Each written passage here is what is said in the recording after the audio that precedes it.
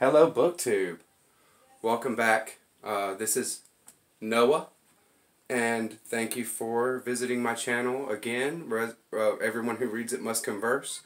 Um, for those of you who it is again, uh, this will be a little bit of a different video for me, though I will review a book, um, give a give my take on a, a work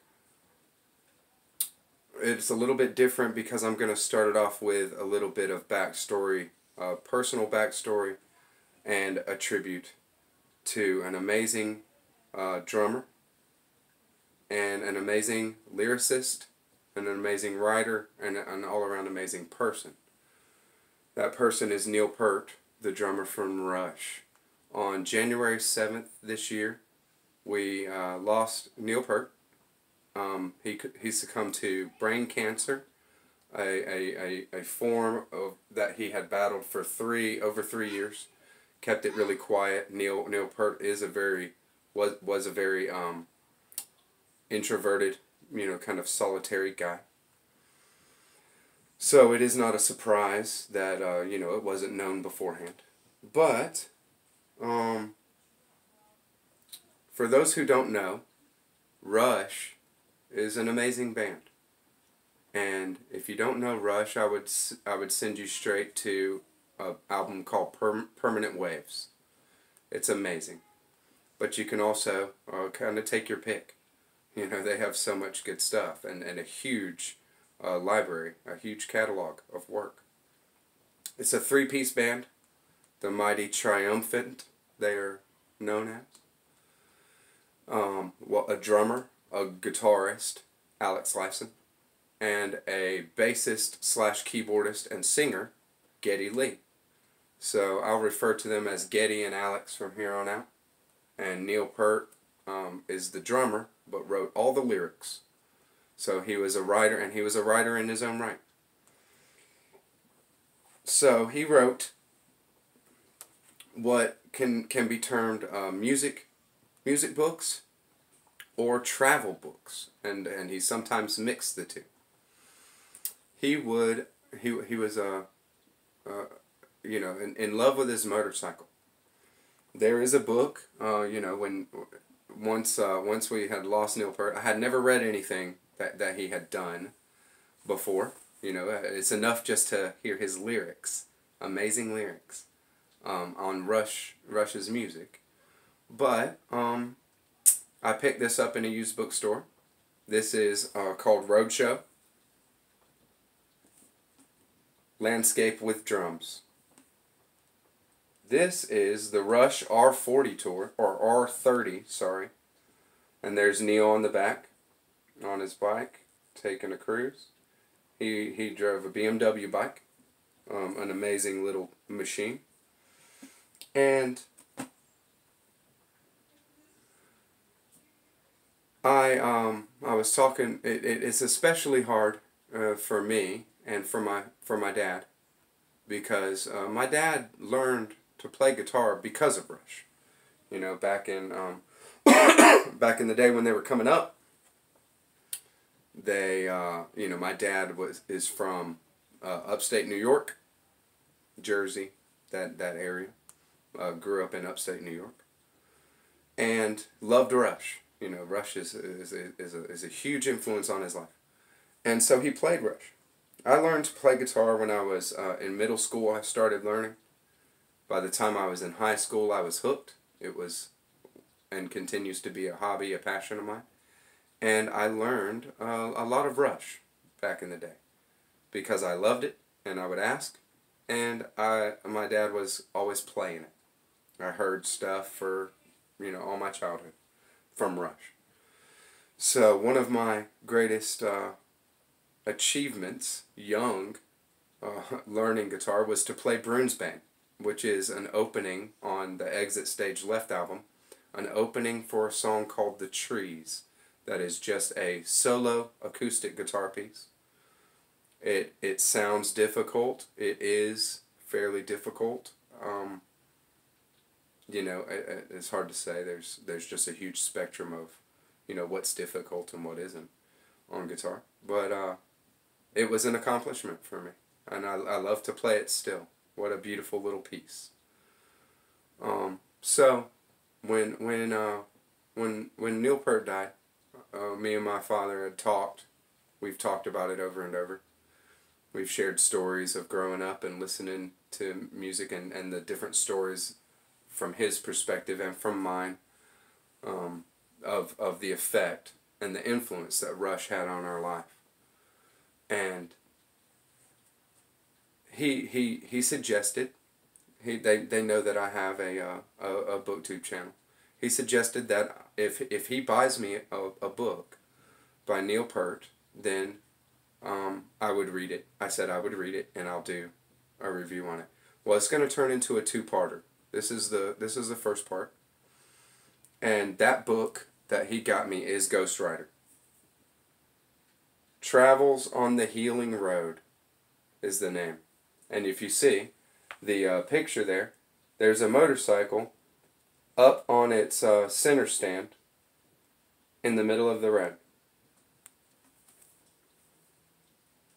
That's how, and, and every chapter in this book, the heading of the chapter is going to have, you know, a, uh, a small little title. This one is Westering, chapter 2. And then there is a picture in at, at that point in his journey of his bike up on the center stand um, in the middle of the road. That'll come into play in a little while.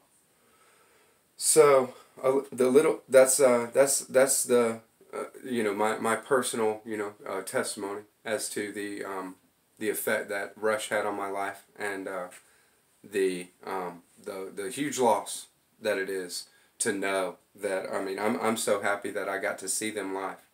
I saw them off of a tour of, of, of an album called Vapor Trails, in which they played some of their greatest stuff that they've ever done. Natural Science, um, Free Will. Um, it's just amazing. Uh, so I'm, I'm so I'm happy that I saw them because now um, you know even if Geddy and Alex get another drummer and do a tour, which I don't know if they will or not. If they did do something like that, you know, it's not going to be the same. Nobody, uh, Neil Peart changed the game. He upped the level um, for drummers uh, across the board. Drummers, uh, you know, all over. They know uh, how how amazing Neil Neil Peart is and uh, what an influence he's had on music and, and on drumming specifically. So a little bit of a backstory to Ghost Rider, and then I'm going to give you my uh, my take on uh, just the first uh, the first uh, you know couple hundred pages is what I'm through, and then I'll do another video the the last part the the the entire book. So the the book opens up with Neil uh, suiting up to go on a on a on a on a drive on a, on on his motorcycle, and he has to go. It's a it's a it's a life or death um, decision that he go, and then we get a little bit of the story of why. Why he's going on this uh, this uh, adventure. Um, why why he must go, and in uh, about 1997, I believe. Neil Peart and his wife lost their 19-year-old daughter in a car accident. It was um, no no nobody else involved. The his daughter Selena is her name. Selena um, left their their residence um, to go back to uh, to where she was uh, going to school. She was about to start um, start start uh, our college, and so she leaves, and that's the last time that they saw her. Her uh, her car lost control on a, on a road in in Canada, and that that was it. The next uh, thing was uh, a, a, a police uh, detective coming up to their door. And giving them the most horrible news I'm sure that they have ever heard and, and, and, and thought that they would never hear. What a loss, right? Um, 19 year old girl with, with all the opportunity in the world ahead of her. Her the mother, Jackie, is, uh, is Neil, Neil Peart's wife. Jackie um, ne- never recovered from that. Jackie was depressed and upset and and and and and they did you know trips they did what they could he was you know focused on her the story you know is that he was focused on her and and, and they were together uh, you know going going through this but inconsolable took a trip to london for a few uh, months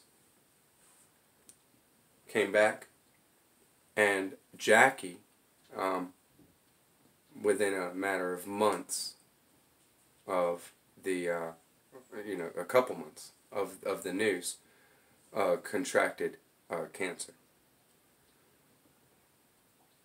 He says in the story that it was cancer uh, by the diagnosis, but we all know that it was a broken heart, and that Jackie was actually you know uh, in in some way relieved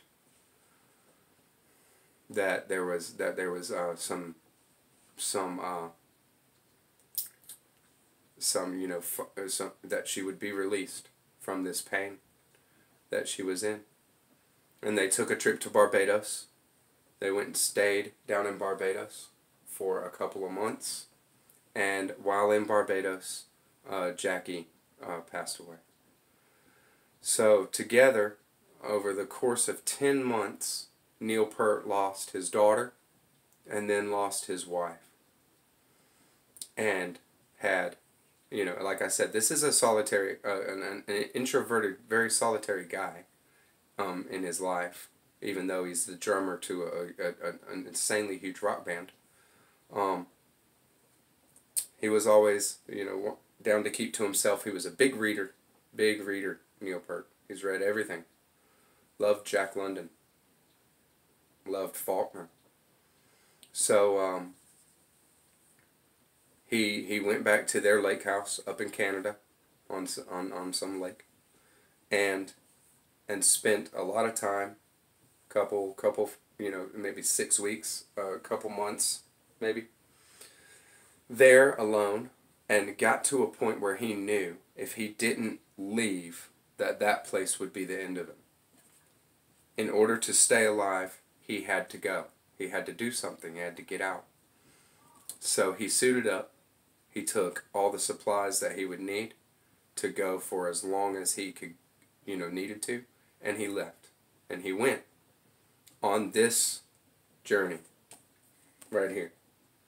This was his journey to uh, try to heal himself. And I'm going to uh, give a little give a little part here. Exhausted I might have been, but I was also relaxed. My first day staying in one place had turned out pretty well. Just to preface that, you know, he's riding, uh, you know, 900 miles a day. He's, he's riding from dawn till dinner time. And he'll stop somewhere, have his dinner, and then walk in the evenings, and then go to the hotel and sleep. And wake up the next morning at dawn and do the same thing again. That's what he's doing. Uh, over and over and over and over. Um, I think I think that or you know by the time by where I'm at now in the book, he's maybe been on the road, uh, you know, two months. Um, not two months yet, just under under two months, and it's something like, you know, fifteen or 16,000 miles that he's covered. It's just it's just all day riding these roads and in the evenings map map map while he's uh while he's uh, having his dinner. Some days he might do something like a hike if he's if he's in a uh, a place for it. He's visiting some national park areas. There's always there's always places like that around. You know, he's he goes over towards Alaska goes down to uh, Vancouver. and then takes a ferry down to Vancouver and then continues on his bike. So um, you know he's he's gone through the Rockies and around the Rockies. He's now in, in the book. He's he's in Nevada. So this is this is early in the in the in the in the in the in the trek. Exhausted I might have been, but I was also relaxed. My first day staying in one place had turned out pretty well. As always, the main thing was to keep moving, keep active, take that little baby soul for a ride. It just took will. And I knew I was always just barely hanging on to that necessary resolve. I was still overcome by tears and abject sorrow several times a day, but I let those spells pass, and to avoid the helpless tailspin of spiraling down into the abyss of memories. Those memories were always with me, of course. So,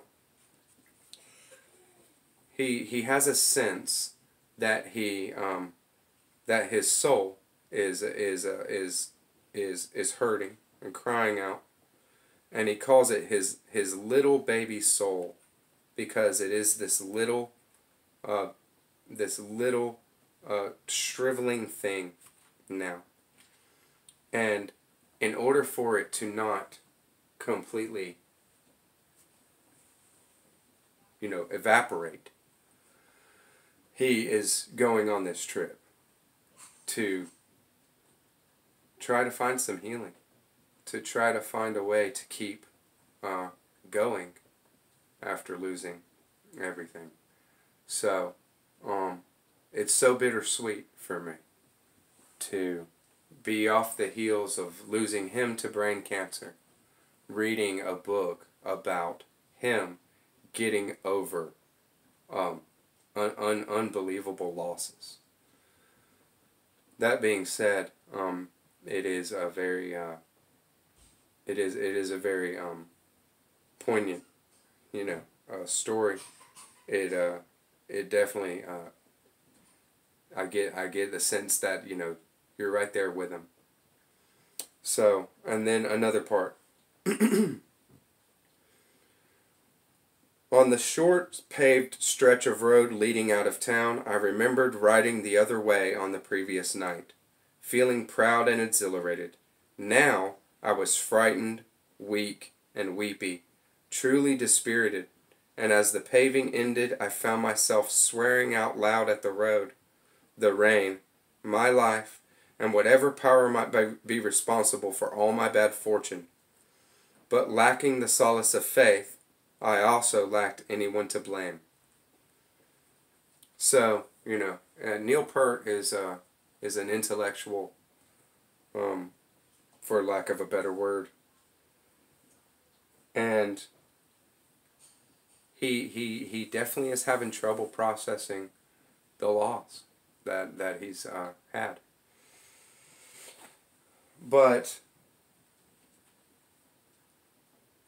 you know, at least at least he's doing something about it. It is it is um, definitely a long road, and he is um, working through things as he goes. I, I'm not privy to all that yet. Um, Neil Peart is, is, like I said, a very uh, introverted, solitary kind of person and so even in this this writing, it it is it is sprinkled throughout, and it's not bore out very much yet. What kind of healing he's finding, and and and and really at this point maybe he hasn't realized, maybe he hasn't found a lot of healing yet. There's only little bitty glimmers where he says, you know, it it it I see that there might be some healing in the fact that I still can enjoy seeing a beautiful landscape. I, I, I, I see a beautiful landscape and I get that sense of awe, of beauty. And I still, you know, I can, I can still enjoy that. That's, that's, that's good. That's a good thing. And so, with that being said, like eh, when, when I read that, I say I say yeah man that that's that's that is a good thing you know but it's it's a daily process for him to you know to keep moving and to keep going. So just recently, in this, you know, he he was going across Nevada. And he was going across a big stretch in Nevada where where there was nothing, for no service stations, no gas stations, nothing, for 88 miles. I don't know if it's like that now. This book was written in 1998. That's when uh, that's that's that's after when he had had this uh, did this did this. And so um, that's that's you know I'm saying you know 20 years ago, 1998. Uh, you know, it, there was an 88 mile stretch of just nothingness. So he stops in the middle of the road. He said he, he had this uh, this this this urge to just stop and park his bike in the middle of the road and stretch his legs. There was he he said he could see for 20 miles either it, both directions because it's just flat, you know, flat desert, nothing. And he could see for 20 miles either way. He said nobody's coming. And and if if somebody starts coming, I got more than enough time to do whatever I want to do to get my bike out of the road or whatever.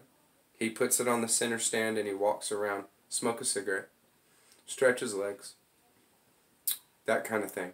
And when he looked back, um, he saw the bike there in the middle of the road like that, and he had been calling himself the Ghost Rider. He's he's carrying with him these ghosts, these memories, um, and he's and they're and they're constantly with him on his trek. And he's seeing, finding ghosts everywhere. Jack London's uh, cabin. Um, different, different, different uh, people from uh, you know uh, in history that built certain roads. You know, he, he calls them out. He's he's he definitely is all, you know, he's he's keeping busy. And um, you know, he finds these towns that are just you know uh, you know, def- defunct, um, you know, logging towns or, or mining towns that aren't in use anymore, ghost towns. And he says, you know, more ghosts. I'm in the ghost town now, ghost ghost rider in the ghost town. So when he saw his bike like that, he said, I saw, and he goes, there's, there's the ghost rider. That's me. And he took a picture of it in this perspective, behind it, you know, as if it's riding away from me. And that's the picture of uh, the, the, the book here and every chapter, and that's his name for himself, the Ghost Rider. So, um, I'm enjoying it. It's kind of a trudge for me. I'm not I'm not big on uh, you know traveling books. I don't I don't I haven't written read, read anything like that, anything like this before. Hearing about all the roads, but you you know and, and all the locales, all the all the all the all the places he stops when he services bike when he does stocks up on supplies. Every snafu along the way, you know, he's gotten tickets, he's gotten pulled over, he's had bad meals, he's had, you know, a, a, a self, a, a, a full service gas station fill his, his bike with diesel. you know, he's had, he's had, he's had his share of things on this trip. But uh, the trip, as he says, is not to anywhere. There is no destination and there is no time frame for this trip. So I'm eager to see where it goes and I'm eager to see how Neil Peart worked through something, uh, you know, a, a loss that, that cannot be even fathomed. I can't imagine. And um, in that way, I um, am taking my own trip as the Ghost Rider uh, along with him to uh, to remember him and to also heal from you know the loss of uh, of somebody who influenced my life in a, in a great deal um, and also uh, you know and, and through his through his death has uh, has you know given us all something uh, to you know, remember and then and just uh, also you know give thanks for a life well lived. This guy, uh, you know, did did something amazing. Like I said, he you know he he he he leveled up the game on uh, on drumming. Uh, nobody nobody uh, could, would you know that uh, nobody would uh, would call into question that. An amazing an amazing person. So uh, this is for Neil, and uh, this is for my dad, uh, Terry Downton. Thank you, sir. And uh, book two. Thank you for joining me. And uh, we'll uh, we'll finish up the second part when I get uh, to the end of that one. Happy reading. Catch you on the next on the next one.